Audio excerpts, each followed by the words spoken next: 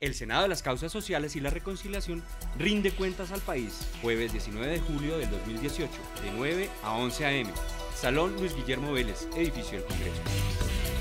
Transmisión en directo Canal Congreso. Y vía streaming en APP Mi Senado.